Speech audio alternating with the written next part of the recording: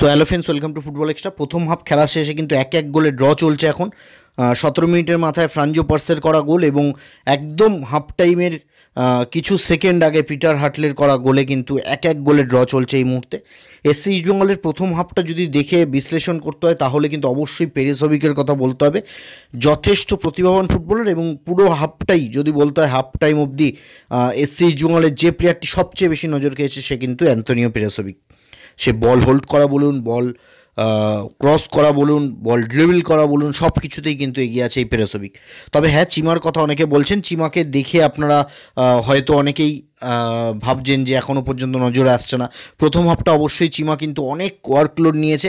আপনারা দেখেছেন, জামশেদপুর আক্রমণের সময় নিচে নেমে এসে ডিফেন্সকে সাহায্য করা, মাঝমাঠে নেমে এসে বল তৈরি করা, কারণ এসসি বেঙ্গলের মাঝমাঠটা কিন্তু প্রথম হাফে সেভাবে দানা বাঁধেনি। যদি টিম লিস্টটা দেখেন, তাহলে আপনারা দেখবেন সম্পূর্ণ ভারতীয় স্কোয়াড বা ভারতীয় মিডফিল্ড নিয়েই কিন্তু এসসি ইস্টবেঙ্গল টিমটা প্রথম হাফে খেলতে নেমেছে, যেখানে ডারেন সিডাল বা আমির দেবেসেবিক দুজনই কিন্তু সাবস্টিটিউট হিসাবে আছেন। তবে হ্যাঁ আমি আবার বলছি আজকের দুপুরের ভিডিওতেও বলেছি যে কোচ কিন্তু অবশ্যই চাইবেন যে প্রথম হাফে বিপক্ষকে দেখে, তারপরে দ্বিতীয় অর্ধে তার পরিকল্পনাগুলো খাটাতে, কারণ এসসি বেঙ্গল কোচও নতুন সাথে প্লেয়াররাও নতুন, সেই পরিকল্পনাটা কিন্তু অবশ্যই এগোবে।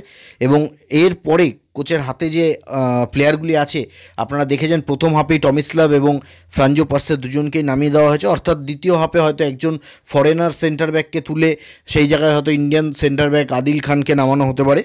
এবং মাঝমাঠে হয়তো আঙ্গসোয়ানার জায়গায় হয়তো অমরজিৎকে নামানো হতে পারে।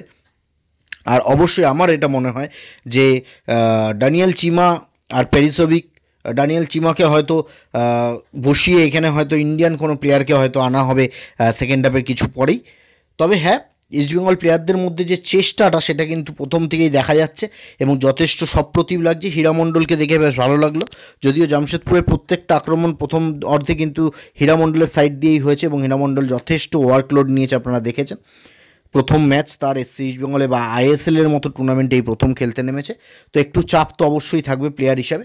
তবে হ্যাঁ এসসি ইস্টবেঙ্গলের টিমের মধ্যে একটা সপ্রতিভ নড়াচড়া লক্ষ্য করা গেছে এবং প্রত্যেকটা প্লেয়ার হয়তো প্রচুর মিসপাস হয়েছে প্রথমে হদ্দেই এবং সেকেন্ড হাফটায় যদি আমির দেরবিসেভিক বা ডারেন সিডলের মতো একজন প্লেয়ারকে মাঝ মাঠে নামানো হয়, সেক্ষেত্রে কিন্তু চিমা বা পেডোসোভিকের বল পাওয়ার চান্সটা আরও বেড়ে যাবে, যেটা এই মুহূর্তে সবচেয়ে বেশি দরকার। তো যাই হোক প্রথম অর্ধের মূল্যায়ন বলতে গেলে এইটুকুই। আপনাদের কেমন লাগল ফার্স্ট হাফটা এবং কোন প্লেয়ারটি নজর কাড়লো অবশ্যই আমাদের কমেন্ট বক্সে জানান। সেকেন্ড হাফ শেষে অবশ্যই আপনারা আবার একটি ভিডিও পাবেন। Thank you guys